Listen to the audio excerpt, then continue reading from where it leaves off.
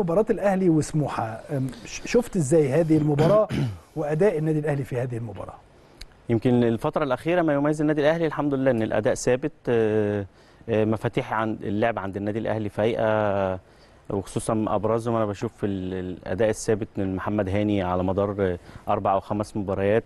يمكن ده اللي مدي أفضلية للنادي الأهلي بشكل كبير جدا فوقان حسين الشحات ورجوع المستوى ب- بنسبة كبيرة جدا لكن حسين عنده أكتر من كده.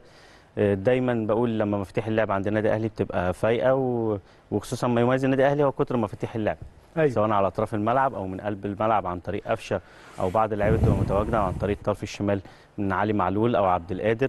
اللي أنا بفضل دايما إن الثنائي ده هو اللي يبدأ أي مباراة فبيديك أفضلية زي ما شفنا مباراة لو علي. معلول وعبد القادر. علي معلول وعبد القادر. أوكي. فده اللي بيديك الأفضلية دايما إن أنت راكب المباراة دايما مع الزيادة اللي بيعملها اليو ديانج وفي نفس الوقت أنت بتتكلم ما أنا بشوف إن اليو ديانج فارق بشكل كبير جدا مع أداء النادي الأهلي وفوقانه بيعمل الاضافه والزيادة العددية زي ما شفنا في مباراة إنبي كده قدر يحرز هدف. قليل قوي يا كابتن في مصر لما بتلاقي رقم ستة بيلعب بيقدر يحرز أهداف. ده كان ما- يميز لعيبة كتير جدا وما كناش بنشوفه في الدوري المصري. لا من أيام حسني عبد ربه ومحمد شوقي حسام غالي حسام غالي ال- بعض اللعيبة آه. كان حسن مصطفى على بعض صح. فدي اللي بتدي أفضلية بتدي إن أنت دايما بتبقى راكب المباراة. فكتر مفاتيح اللعب اللي داخل النادي الأهلي وهي فايقة ومع رجوع محمد هاني لمستواه زي ما قلت لحضرتك على الجبهة اليسرى برضو علي معلول وعبد القادر مشكلين جبهة قوية.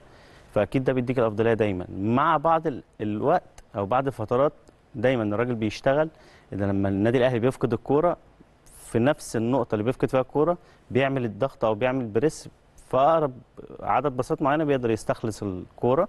دي اللي بيشتغل عليها الراجل بشكل جاد عشان كده ده بيديك أفضلية أكيد كولر أعتقد إن هو ادار هذه المباراة بشكل احترافي وجيد جدا في ظل كمان الغيابات الكثيرة اللي موجودة في النادي الأهلي خلينا نبقى واقعيين يا كابتن ال ال الهدفين في أول المباراة أيوة.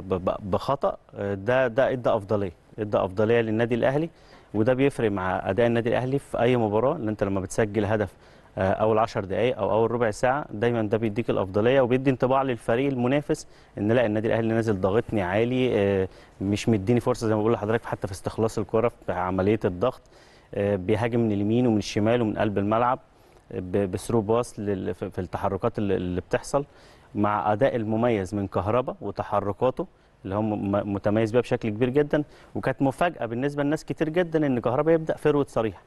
لكن ده مش مركز مش جديد على كهربا يمكن لما كنت بتكلم مع بعض الناس هو لعبها في منتخب مصر.